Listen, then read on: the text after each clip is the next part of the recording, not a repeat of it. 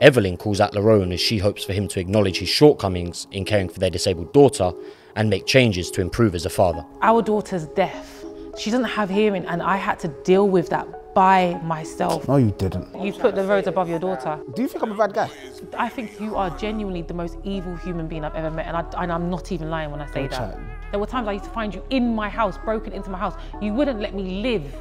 So then I had to live a life where I had to lie to you about anyone that I was dating. This ain't fucking Narnia, bro. Like, there's real life shit that goes on in this, like that, like. Laverne, the problem is you've had too many children. No, I haven't had enough, my guy. Five baby mums, nine children. You I don't use that derogatory term. I went to college when Kaya was nine months. I've been in Who the hell told you to do that shit then? the fa- You just had a youth, fam. Chill out.